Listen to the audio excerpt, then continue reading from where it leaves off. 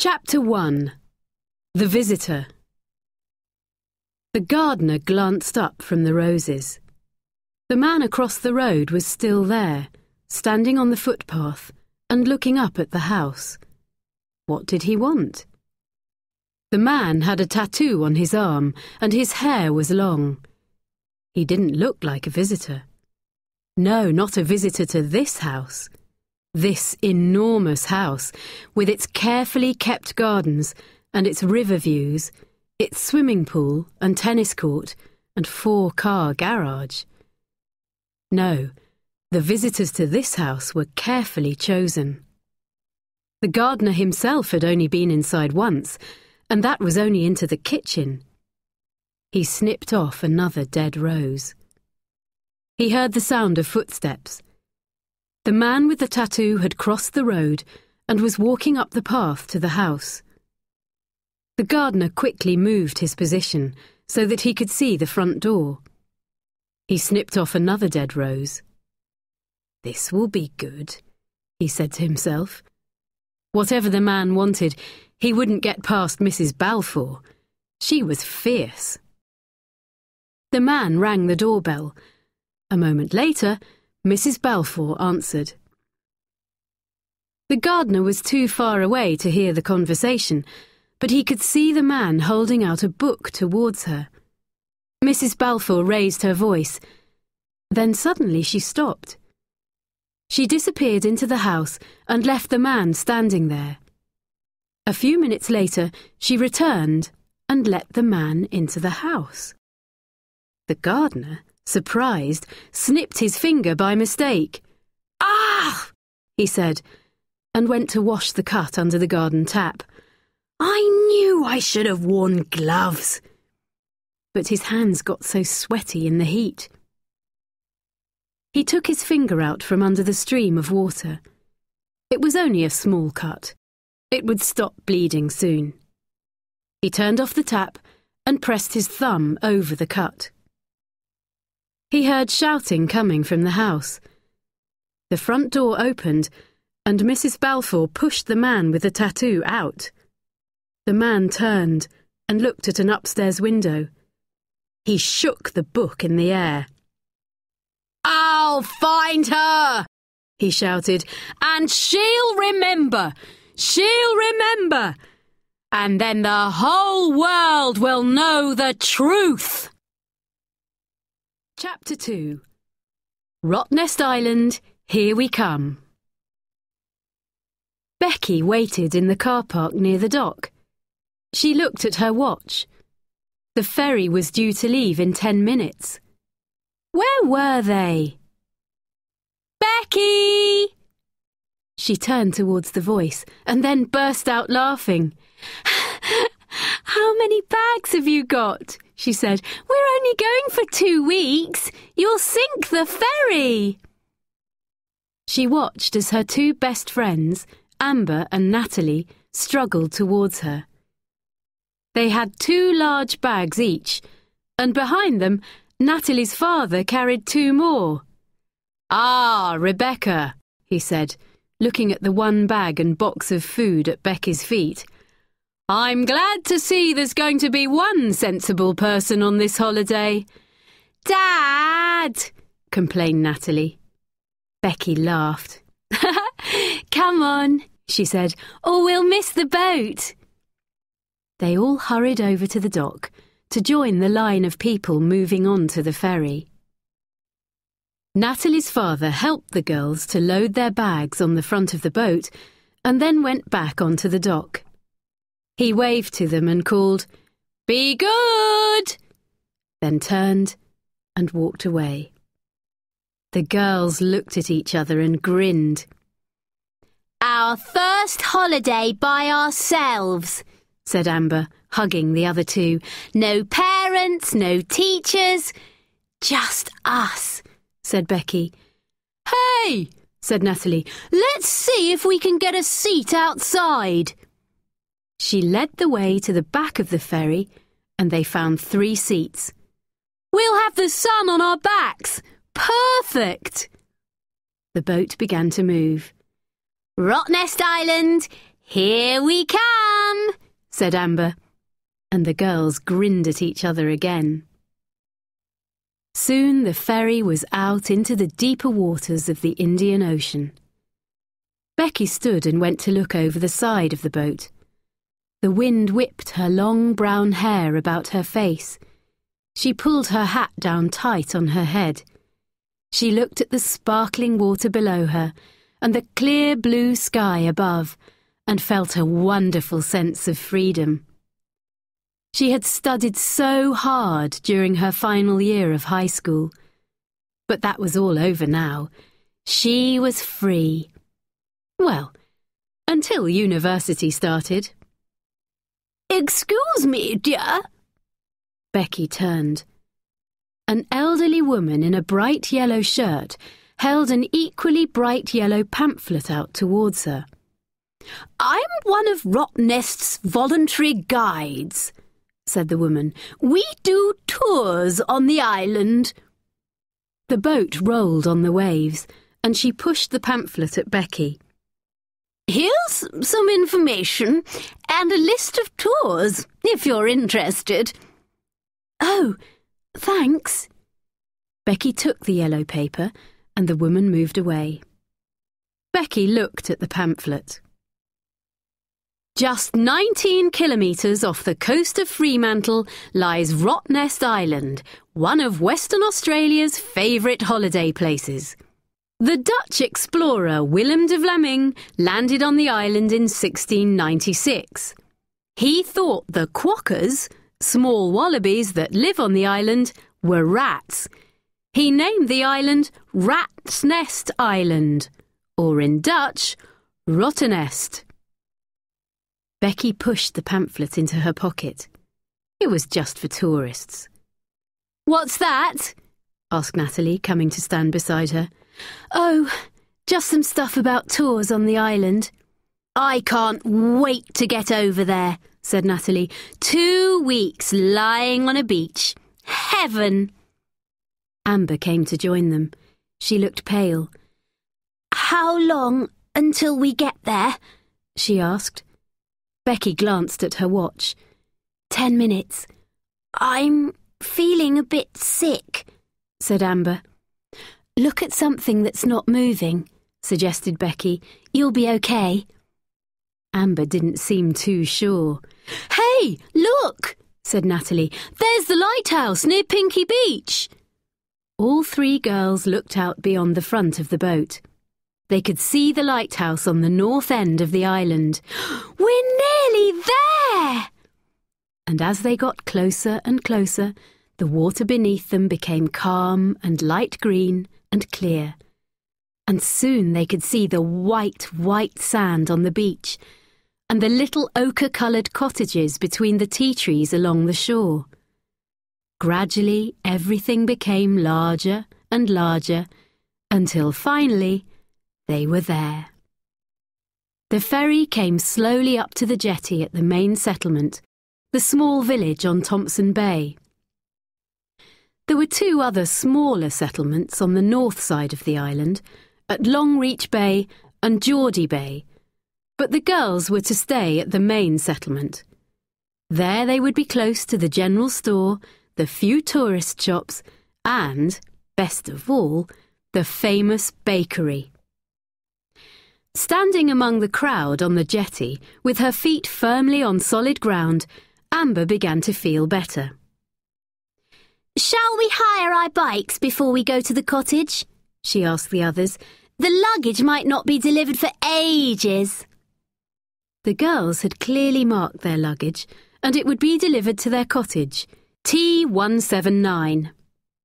They collected the cottage key from the Tourist Information Building at the end of the jetty and walked into the settlement. Apart from a few cars for the people who worked on the island and a bus service, no vehicles were allowed on Rottnest. Everyone used bicycles. Oh, this seat's uncomfortable, said Becky, trying out a bike. The bike hire building, like everything else in the settlement, was only a short walk from the jetty. There were rows and rows of bright blue bikes. People walked among them, looking for something suitable. Mine's okay, said Natalie. Try one of these over here. Soon all three girls had chosen a bike and paid for two weeks' hire. Minutes later, they were riding down a sandy road, looking at the ochre cottages on either side of them. The road ran parallel to the shore. The cottages to their right faced the road, while those on their left faced the sea and had their backs to the road. Becky suddenly pointed. Look, T179! There it is! Oh, perfect, said Natalie. It's on the seaside. There was a high wall at the back of the cottage. The girls jumped off their bikes, leaned them against the wall, and opened the gate. The luggage is here, said Natalie, going first into the little backyard. That was quick. She turned to face the others. Who's got the key?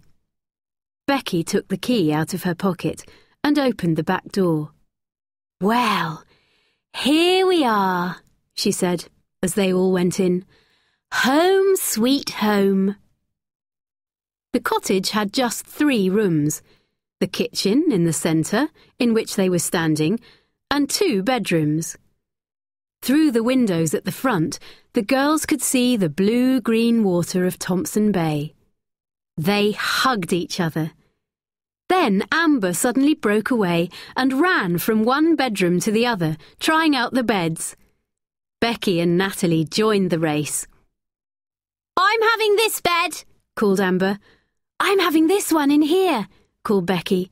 Where am I going to sleep? asked Natalie. You have that one. The girls laughed and unpacked their clothes, and the sun sparkled on the waters of the bay. Chapter 3 West End The next morning, Becky and Amber sat on the front veranda of the cottage eating breakfast. A low wall ran around the small front yard, and beyond that was the beach. But the girls weren't looking at the water. The little wooden gate in the wall was open, and two quokkas had wandered in. They're so sweet, said Amber, kneeling down and holding out her hand. The smaller one put its nose to her fingers, hoping for some food. Oh, look at his little face! Just then Natalie came out onto the veranda, and the quokkas jumped back towards the gate. So, what's the plan? asked Natalie. She sat on the low wall that divided their cottage from the one next door. Well, said Becky, we ride out past Geordie Bay to West End. Maybe we can have a swim at Parakeet Bay on the way and then we come back on the road on the south side of the island. We'll need supplies from the bakery, said Natalie. Of course, grinned Becky. If we leave soon, we should be back by about one o'clock. Suddenly, a window in the cottage next door opened, and Natalie turned to see the face of a young man with sandy coloured hair. He smiled at her. She turned and stood and walked back to the other girls, her eyes wide. There's a really good looking guy next door, she whispered. There was a solid wall at the end of the veranda, so Becky and Amber couldn't see into the cottage, but they heard the front door open. Two young men came out into the yard, one with sandy hair and one with dark hair. They looked across at the girls. The dark haired one spoke first. Hi! How are you going? Hi, said the girls. We've just arrived, said the other boy. Have you been here long? We arrived yesterday, said Natalie. Yes, Sunday, yesterday, repeated Amber. We're here for two weeks. Oh, good. The dark haired one smiled. My name's Dominic, by the way, and this is Richard. I'm Amber, Natalie, Becky. Right. Well, we'd, um, better go and unpack. We'll probably see you around. Dominic gave a quick wave, and the two boys disappeared behind the veranda wall and into their cottage. Amber signalled to Becky and Natalie, and they all went inside too. They're both good looking, said Amber, once the door was safely shut. This holiday just gets better and better. I like the dark haired one, said Natalie. She turned to Becky. What about you? Becky paused and then said, very calmly, You do realise, don't you, that we're still in our pyjamas? Becky was the first to be dressed and ready for their ride around the island. She took her towel and a bag out to her bike. She wheeled the bicycle out of the back gate, leaned it against the wall, and fastened her bag on the back of the bike. She folded her towel and put it on the seat. With more than two hours riding ahead of her, she would need that for comfort. She heard voices behind her and turned around. A group of older women were on the veranda of the cottage opposite. Hello, she said.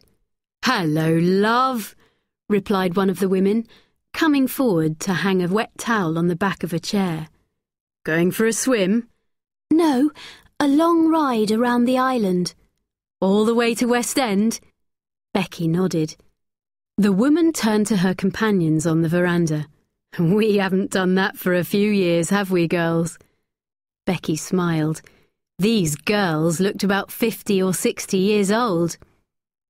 The women smiled at Becky. Do you come to Rottnest often? she asked. We've been coming every year since 1991, the woman with the towel answered. Well, apart from Ruth. She pointed at a woman with very short grey hair. She's new. We've only known her for ten years. The women laughed. Of course, we all came here when we were children, too. Oh, hello. Natalie and Amber were wheeling their bikes out onto the road. Hello, they said. Ready?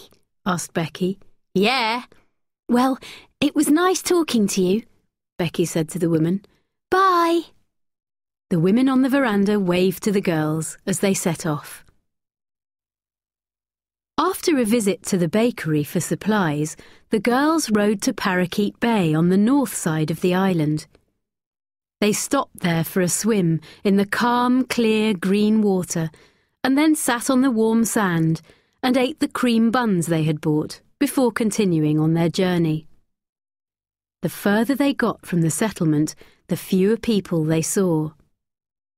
Riding down the road through Narrow Neck, the narrowest part of the island, where once the sea had flowed and formed two islands instead of one, they saw no one. The low tea trees were windswept, and it was dry and hot. As Becky came down a hill, a black snake quickly crossed the road in front of her bike. She pointed and shouted back at the others, Snake! Amber gave a short scream, and Becky and Natalie laughed. Finally, they came to the end of the road at West End. They dropped their bikes on the ground and drank thirstily from their water bottles.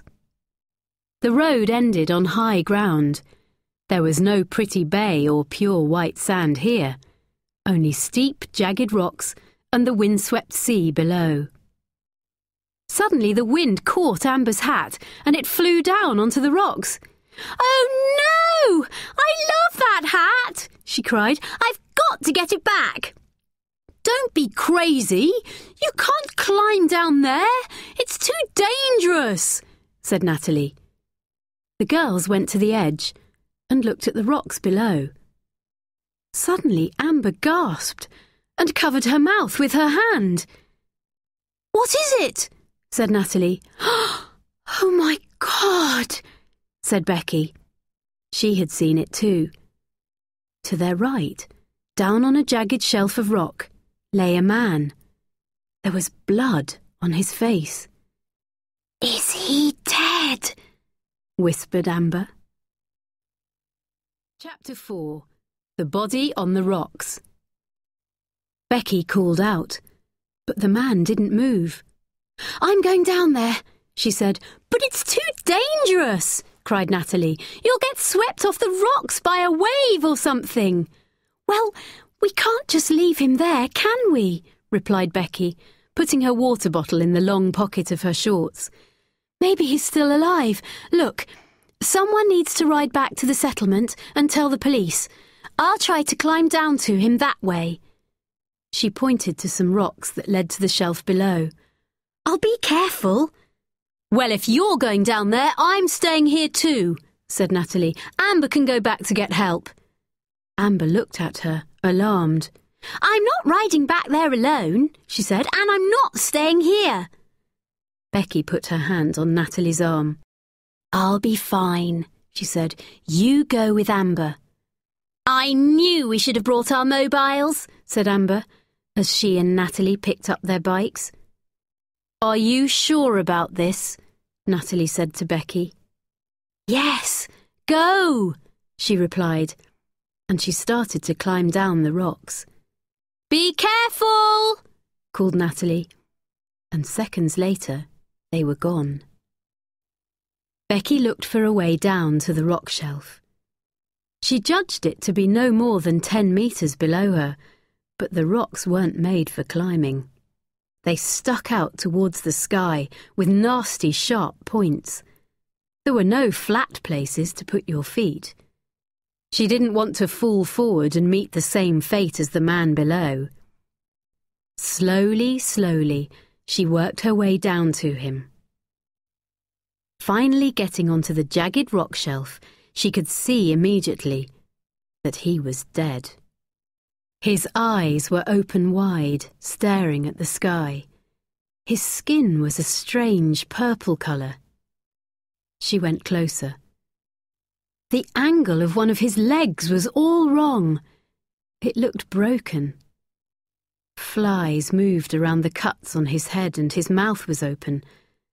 There was a tattoo of a snake on his arm. Becky turned away and looked at the rocks above. He must have fallen. Perhaps he was climbing and he fell. She didn't know what to do. It didn't seem right to leave him alone. She moved a bit away from him, sat down and looked at her watch. It would probably be another three quarters of an hour before the police arrived. Hugging her knees, she sat there watching the waves break on the rocks. Although the sun was shining fiercely, she was in the shadow of the rocks above her. She felt cold. She had never seen a dead body before. She forced herself to look at the man again and she noticed something else. Slowly, she stood up and went over to him. She knelt beside him and looked at his neck. His skin was a strange colour, but there was something else. Definite marks on his neck, as if. Becky stood up quickly.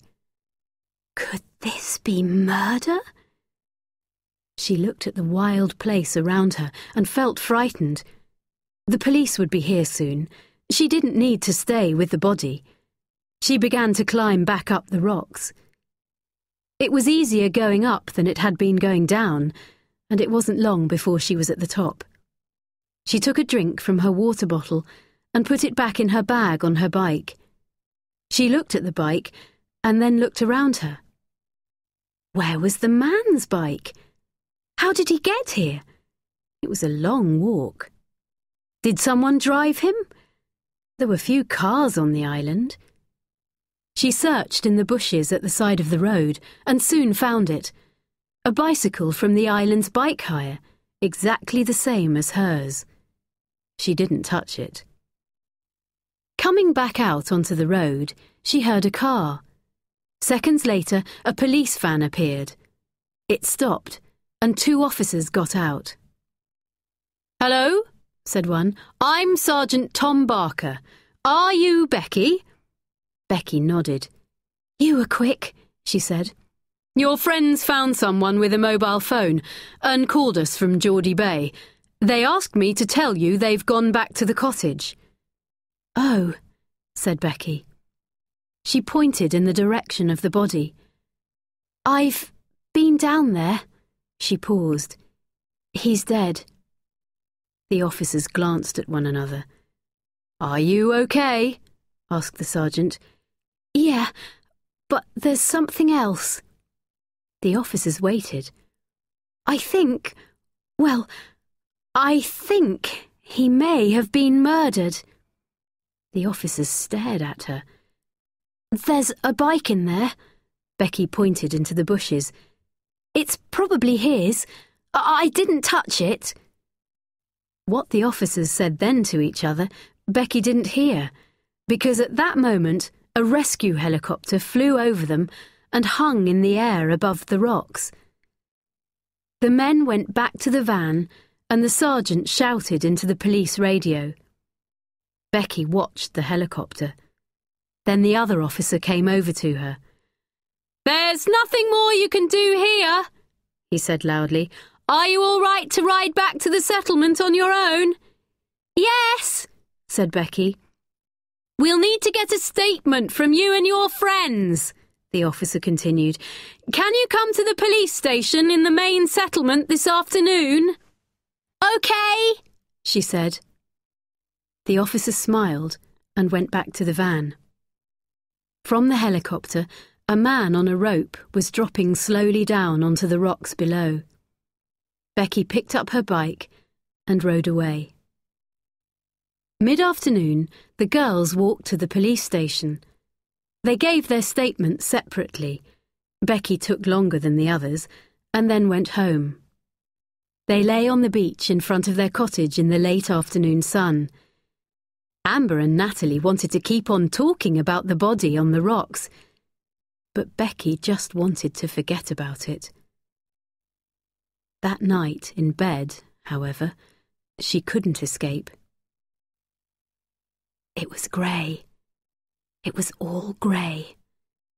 She sat on the rock shelf, grey water sweeping over her feet. The body floated in on the waves. It pushed up against her. She wanted to stand up, but she couldn't move. The tattooed snake on the man's arm lifted its head and came towards her. She gasped. Now she was on her bike, riding fast. She looked behind her and gasped. The snake was following her. She couldn't get away. And then the man's face, covered in blood, came towards her. The staring eyes, the open mouth. And he smiled. Becky woke in a cold sweat. Chapter 5 The Boys Next Door. They're out there! They're! Gasped Amber, running in through the front door of the cottage the next morning. Quick! Give me the broom! Natalie reached out of the back door, got the broom, and gave it to Amber. Then she joined Becky at the front window, and they watched Amber go back outside. Amber moved slowly down the front yard towards the gate, sweeping the sand off the path. Who cares about sand on their path at Rottnest? said Becky. They'll think she's crazy. Amber looked up towards the cottage next door. Oh, hello, she said. She leaned on the broom. I didn't see you there. Natalie rolled her eyes at Becky. They both laughed, then quickly hid behind the curtains as Richard and Dominic appeared. Listen, said Dominic, we thought we might play tennis this afternoon, about one o'clock. Do you and your friends want to join us? Amber nodded. OK. She smiled at the boys. I mean, I'll have to ask the others, but they'll probably say yes. I mean, I'm sure they'll say yes. Yes. Great. What time? Natalie made a face at Becky, then looked through the window again. Richard smiled, showing a row of perfect white teeth. One o'clock, he said. At the tennis courts? OK, said Amber. Great. See you there. The girls decided to spend the morning at the basin, a swimming place in a small bay about half a kilometre from the settlement. It was called the basin because it was a large round hole in a rock shelf that lay just below the surface of the water. The rock came all the way into the shore, and you had to walk across it for a metre or two before you could step down into the basin of clear green water. All the beaches on Rottnest were beautiful, but this was the most inviting. It seemed to Becky the perfect place to wash away the memory of yesterday. She walked across the rock shelf to the deeper water of the basin and dived in. There was nothing like the feeling of salt water on your skin and in your hair. It made you feel clean and new. Surrounded by the sparkling water, she could let go of the uneasy feeling she'd had since her dream the night before. The girls spent a few lazy hours at the basin, talking and swimming and lying on the beach in the hot sun, watching other people come and go. Then they slowly rowed back to the cottage to have lunch and change for tennis. At the tennis courts, Natalie and Amber couldn't wait to tell Dominic and Richard about their ride to West End. You'll never guess what happened to us yesterday, started Amber. The boys listened to the story. Then Richard turned to Becky, who hadn't said much. And you stayed there the whole time with the body? he asked. Yes, said Becky. I mean, it wasn't long, really. She spoke lightly, but the uneasy feeling was rising inside her again. Richard looked closely at her and smiled. He threw her a tennis ball. Come on, you can be my partner, he said.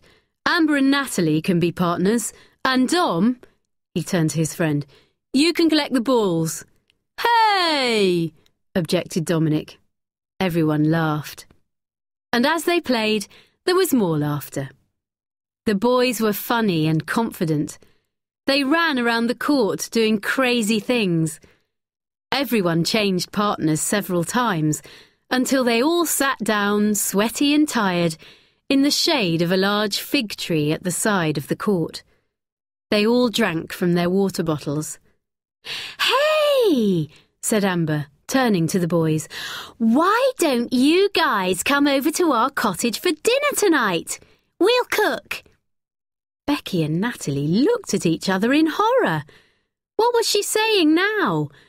Was she really inviting Richard and Dominic to dinner? Was this the same girl who only last night had let the rice boil dry? What was she thinking? None of them could cook a proper meal. Not a proper meal. Not for guests. Dominic looked at Richard, who nodded his head. Yeah, we'll come, he said. Thanks. Becky and Natalie smiled weakly at them. No, we can't roast anything, said Becky to Natalie. It's too hot. The whole cottage would feel like an oven by the time the meal was ready. The two girls were sitting at their little kitchen table, trying to think of ideas for dinner. Amber was still in the shower. Chicken and vegetables with rice? asked Natalie. Becky shook her head. Ah, it's a bit plain. We need something more exciting. Hey, what about that pasta thing your mum makes? That always looks good. Yes, said Natalie. Yes, that wouldn't be too difficult at all. Good idea. She went over to the cupboards under the sink and opened them. There's a big pot for the pasta, and we should be able to make the sauce in this. She took out a large pan. Excellent, do you think you know how to make the sauce? asked Becky. I think so. I've helped Mum make it a few times. So, Becky continued, we can have pasta, and we can make a salad, and we can get some nice bread from the bakery, and a cake for afterwards, for dessert. Excellent, said Natalie again. Let's make a list. She found a piece of paper and a pen, sat down at the table again, and tried to remember the ingredients for the pasta sauce. Finally, she thought that she had written them all down. Then, with Becky's help, she added the salad ingredients to the list. Then, underneath that, she wrote pasta and bread. Don't forget the cake for dessert, reminded Becky. Oh, yes, said Natalie. And she wrote that down too. Amber came in from the little bathroom off the back veranda. She looked at the ingredients on the list.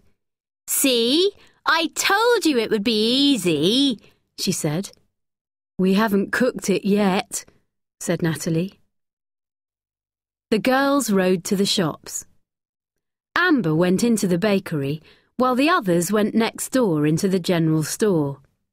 Natalie tore the list in two and gave one half to Becky.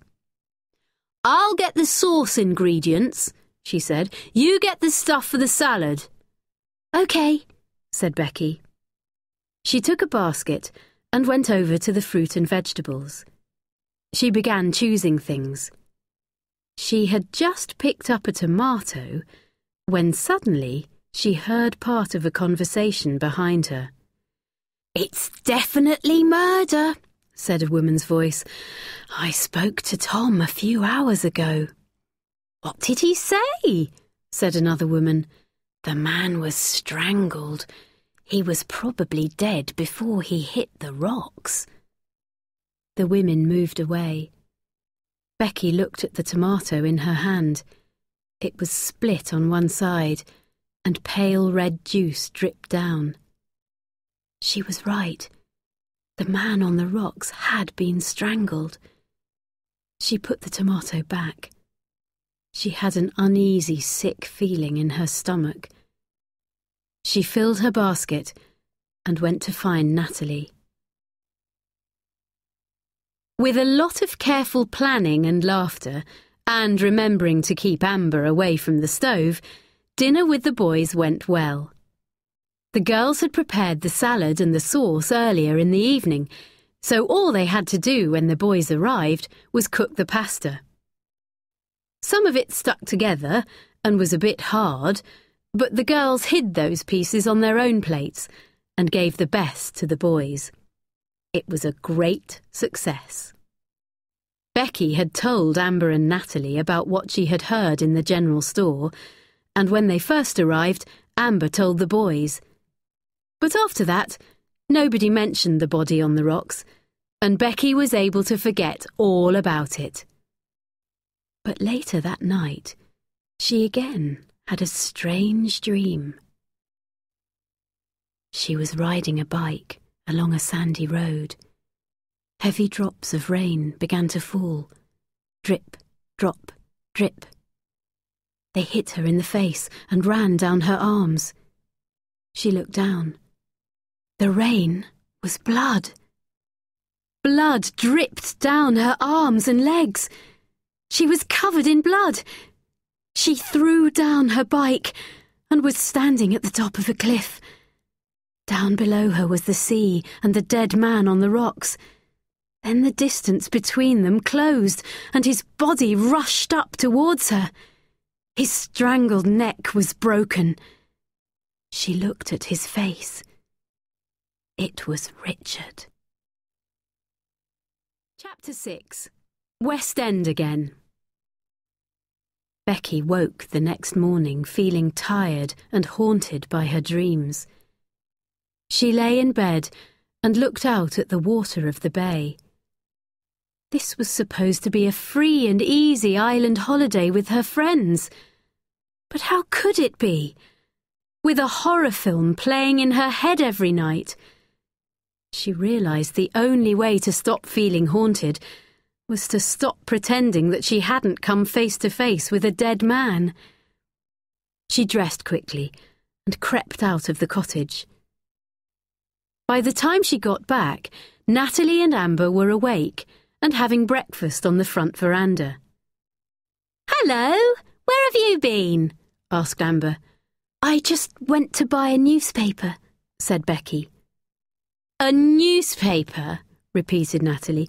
What about our holiday rule? No television, no mobiles, no newspapers, remember? I remember, said Becky, but when we made that rule, I didn't know we were going to find a dead man.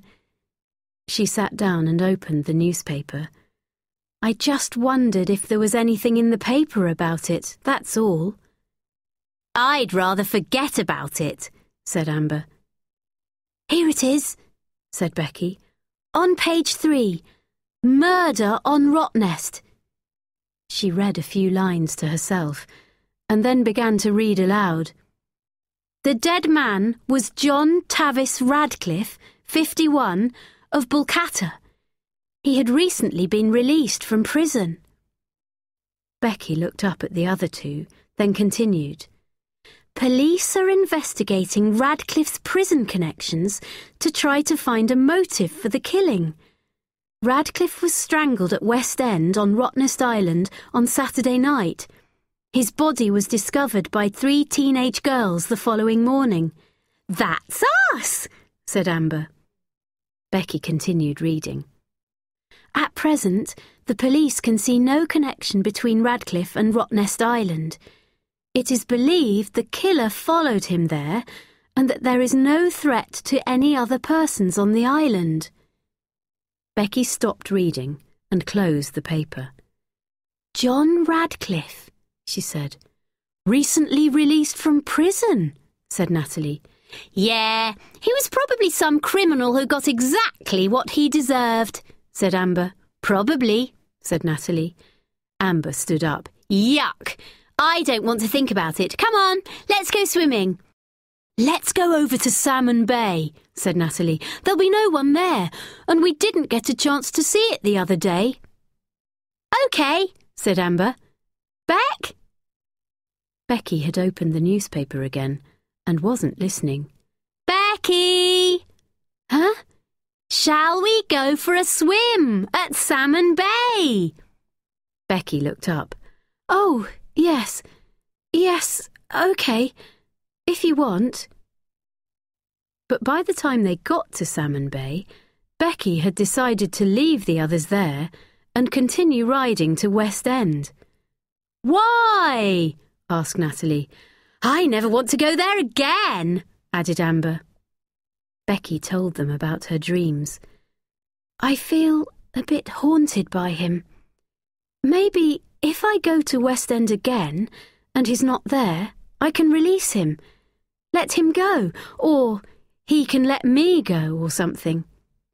Do you want us to come with you? asked Natalie. But, began Amber. Becky interrupted, smiling. It's okay. You two stay here. I'll be all right. I'll see you in about an hour. Some other riders passed by and Becky set off confidently behind them. However, the other riders soon turned off onto a smaller road leading to another beach, and Becky was on her own. She started to feel a bit frightened. Then she got angry. She had never felt frightened on Rottnest before, ever. It was always a safe place to be. A safe place to ride your bike or go to the shops by yourself when you were little a safe place to walk to the beach alone or with your friends when you were a bit older. It made you feel strong and independent, not weak and frightened. Becky didn't like it. She rode on, determined to face the rocks alone. Then, as she came over the last hill and saw the end of the road, she burst out laughing. A bus was parked and there were about 20 people wandering around looking at the view. She could see the bright yellow shirt of the voluntary guide. It must be a tour. She rode down the hill and jumped off her bike. She went to the edge. She could only see part of the rock shelf. She couldn't see the place where the man had lain. OK, everyone, said a voice suddenly behind her. It was the guide. It's time to get back on the bus. Next stop, The lighthouse. Two minutes later, Becky was alone again. She decided to go a little way down so that she could see the rock shelf better. She wanted to imagine the dead man lying there and then throw the picture in her mind into the sea to wash it away, to get rid of it. Carefully, she climbed down. When she could see the rock shelf properly, she stopped and sat down. It wasn't comfortable, but she wouldn't be there for long. She looked down. It wasn't hard to imagine the dead man. The picture was still fresh in her brain. She kept it there for a moment and then said aloud, Mr. Radcliffe, I'm sorry about the way that you died, but I want you out of my dreams now. And then she imagined throwing the picture into the sea below. In her mind, the water washed over it, and it was gone. She stood up and turned to go. She looked up. There was someone there. A man, she thought, in a red and white cap. She couldn't see his face properly. The sun was behind him. He seemed to be watching her. Becky tried to shake off the thought. Of course he's watching me. He's wondering who the crazy person is down on the rocks and if I'm going to fall to my death. She looked up again. The man was very still. He watched her. Becky began to feel really frightened. What could she do? She couldn't stay down on the rocks. She had to go back up to the top. Her mind worked fast as she began to climb. She looked for a path up the rocks that would take her away from the man. She glanced up. He was still there, watching. As soon as she reached the top, she would grab her bike and get away from there. Her heart beat fast in her chest. She was nearly there. She took two more steps on the rocks, and then she was on the flat, sandy ground at the top. She ran to her bike and grabbed it, then quickly looked behind her. Then she looked to the other side. She looked all around, her heart knocking in her chest. The man had gone. Becky decided not to tell Natalie and Amber about the man in the cap. She didn't want to spoil their holiday, and anyway, she told herself, she was probably just imagining things. The man was probably just an innocent visitor having a look at the view. But when the girls were back at the settlement, waiting in the line at the bakery to get some lunch, Becky looked out of the window and saw a bike leaning against a wall with a red and white cap hanging from it. Her heart beat fast again as she looked at the faces around her. There were about thirty people in the bakery and dozens more outside. The bike could belong to any one of them. She began to feel more haunted than ever. Hey! There are Richard and Dominic!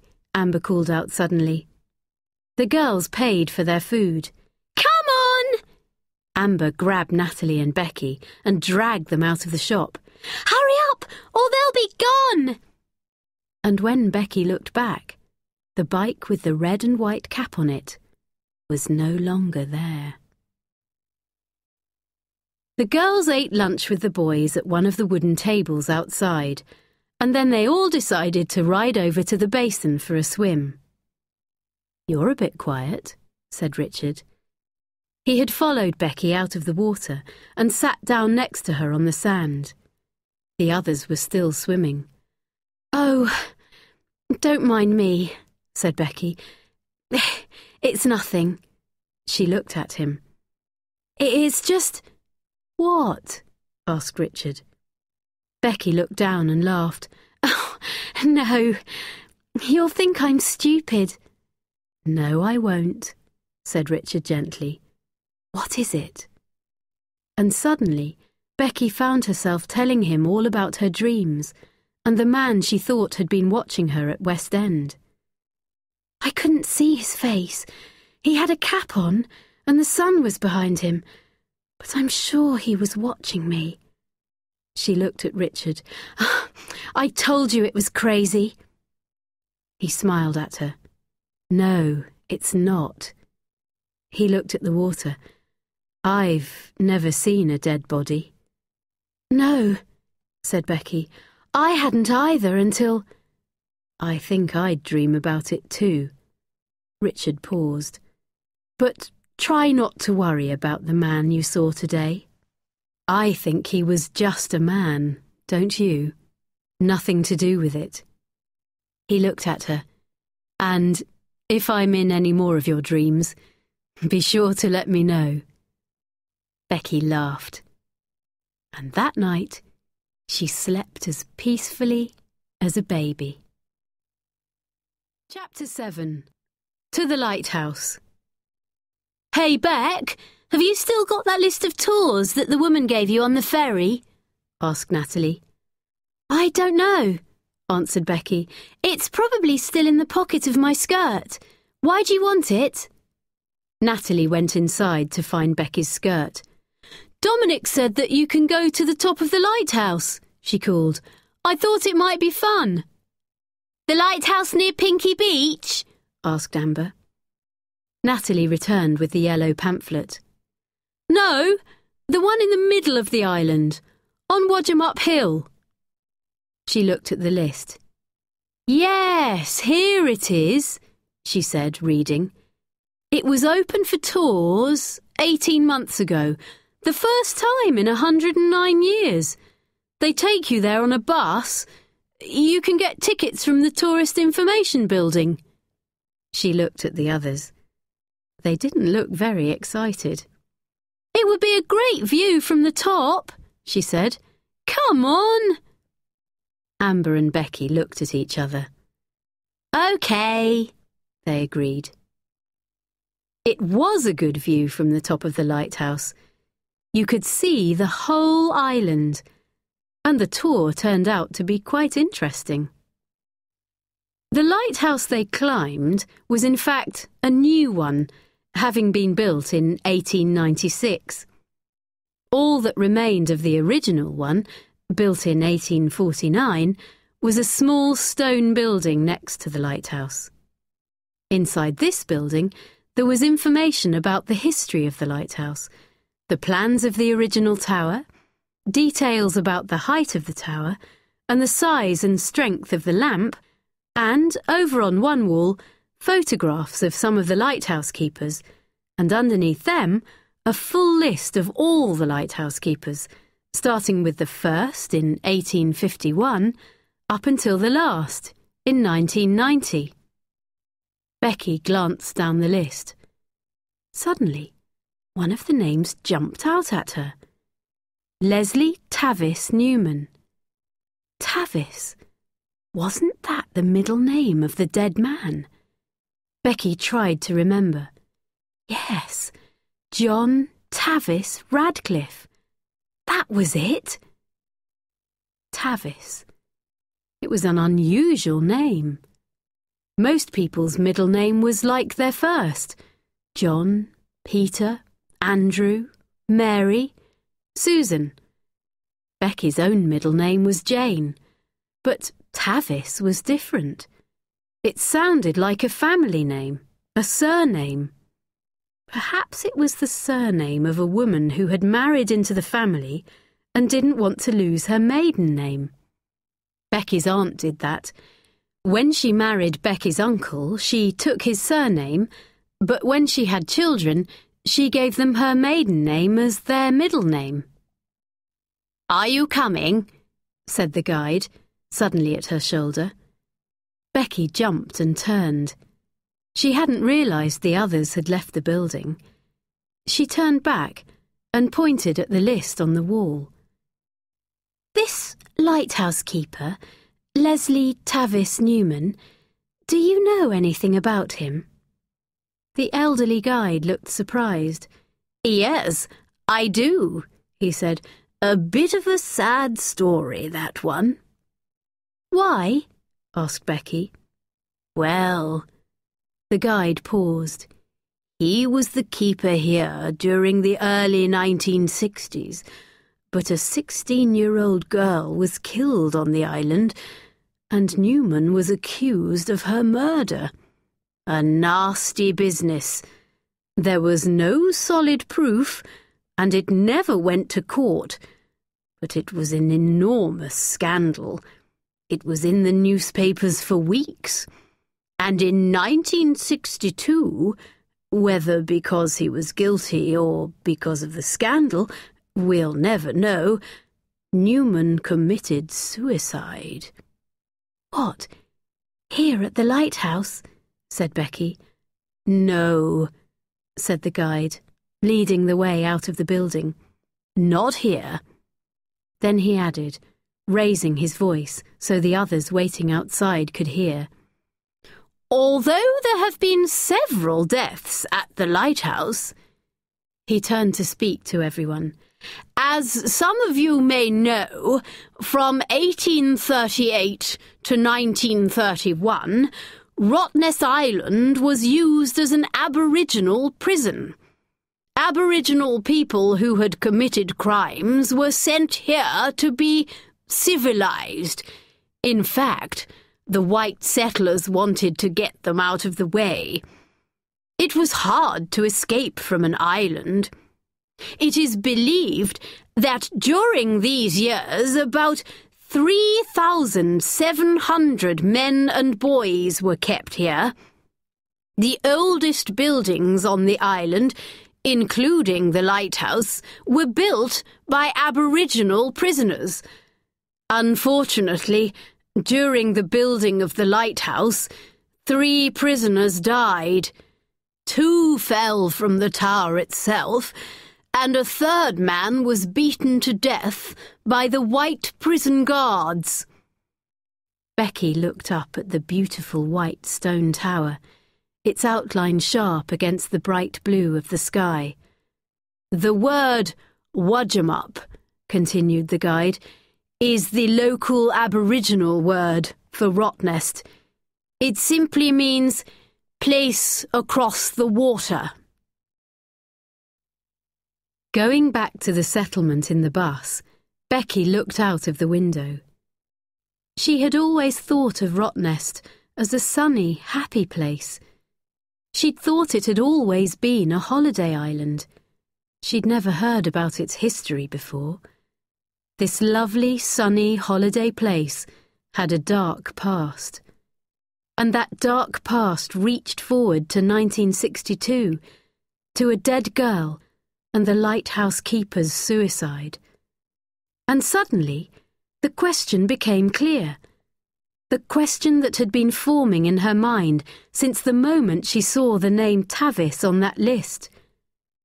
Could the body on the rocks be connected to something that happened in 1962? But surely, it was just a coincidence that both men had the same middle name. Perhaps if she questioned people, she'd find dozens with the middle name Tavis. Yes, it must be a coincidence.